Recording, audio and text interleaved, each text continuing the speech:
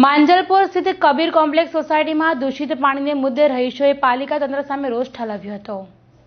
માંજલપુર સ્થિત Don Bosco school સામે આવેલા કબીર કોમ્પ્લેક્સ સોસાયટીમાં છેલ્લા ઘણા વખતથી દૂષિત પાણીની બૂમ ઉઠી હતી. સ્થાનિકોએ વિવિધ સ્તરે પાલિકામાં રજૂઆત કર્યા બાદ પણ કોઈ નિકાલ નહીં આવતા આજે સોસાયટીના રહીશોએ પાલિકા સત્તાધીશો પર રોષ ઠાલવ્યો હતો.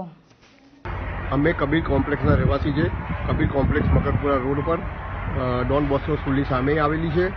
અમારે ત્યાં પાણીને છેલ્લા એક દોઢ વર્ષથી એટલી મોટી સમસ્યા છે અને છેલ્લા એક વીકથી તો એટલી મોટી સમસ્યા થઈ ગઈ કે પાણીનો અમે ઉપયોગ કરી નથી શકવાના. તો આવા અમારે કરવું શું? આ અમારે એકસો અઠ્ઠાવનથી એકસો પચાસથી એકસો અઠ્ઠાવન મકાનની સોસાયટી છે અને આનું નિરાકરણ આજ દિન સુધી થયું નથી ને આગળ અમે આવેદનપત્રો આપેલા છે મ્યુનિસિપલ કમિશનરને, વોર્ડ વોર્ડ ઓફિસરોને, છતાં પણ આજ દિન સુધી કોઈ કામગીરી થઈ નથી. માજલપુર વિધાનસભામાં વોર્ડ નંબર સત્તરમાં ડોન બોસ્કો સ્કૂલ આવેલી છે અને સ્કૂલની સામે કબીર કોમ્પ્લેક્સ સોસાયટી છે. હવે આ કબીર કોમ્પ્લેક્સ સોસાયટીની અંદર પાણીની બહુ મોટી એક સમસ્યા થઈ ગઈ છે. હવે ઘણા સમયથી ડોળું પાણી તો આવતું જ હતું, પણ છેલ્લા ત્રણ ચાર દિવસથી તો એટલું ગંદુ પાણી આવે છે કે જેને એવું કહી શકાય કે પાણી નહીં, પણ માટીનો ડૂવો જ છે.